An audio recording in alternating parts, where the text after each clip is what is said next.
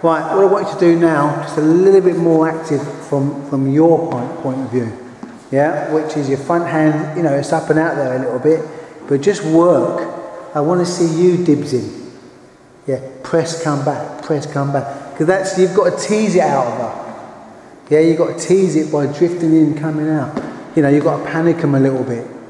Okay, so you've got to work for that. Don't just, just don't just, you're more likely to kind of get caught if you just like gliding up and down, mirroring her movement, you've got to be working as well.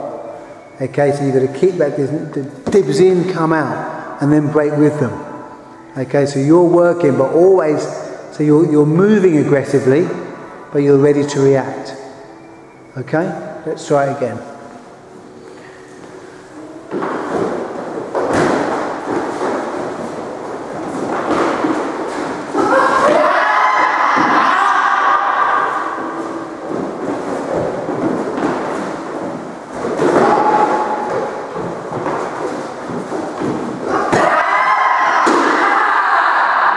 more.